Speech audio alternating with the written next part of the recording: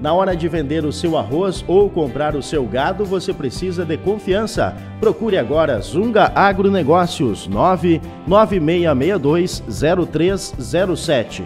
Aqui você pode confiar.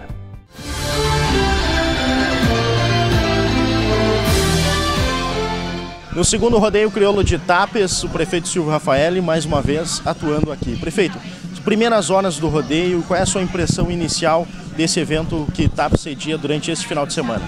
Primeiro, uma sensação de dever cumprido, cumprindo a palavra, né? Porque no, no rodeio passado, que era fora de época, nós fizemos ele fora da época tradicional, tradicional é em janeiro, e nós lá prometimos que faríamos o rodeio em janeiro, custasse o que custasse.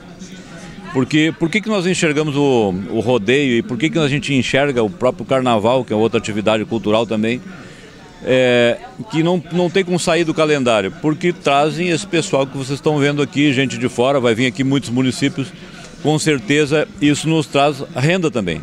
Mesmo que isso demore, essa roda demore para chegar nos cofres da prefeitura, ela acaba chegando. Então isso aqui não é custo, é investimento. Nós entendemos isso assim. Então, estamos cumprindo. Agora, com janeiro é um tempo mais seco, verão, e realmente nós estamos num período muito seco, precisando de chuva. E automaticamente choveu ontem de noite, já está seco novamente, e, e, eu acredito que vai ser, vai ser no decorrer do rodeio vai acontecer isso. Tomara que venha uma chuva mesmo, porque nós estamos precisando para a agricultura, mas o que se vê aqui, uma estrutura melhor do que o passado, uma estrutura mais aperfeiçoada, até porque a gente aprende com os próprios erros e não teve assim erros é, muito grandes, mas faltou alguma coisa de estrutura que a gente está procurando corrigir nesse, nesse, nesse meio tempo. Se vocês olharem lá depois a, o, o lonão do show, é um equipamento totalmente diferente.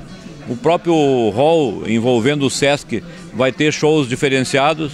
Então nós temos aqui com certeza um rodeio melhor que o passado e que a gente tem que deixar isso aqui é, impregnado na pele do, do tapense de bem receber, como sempre bem recebe as pessoas que aqui vêm, e fazer um rodeio melhor do que o que foi o outro. Então daqui isso vai se perpetuar, a gente entende que se perpetue para sempre.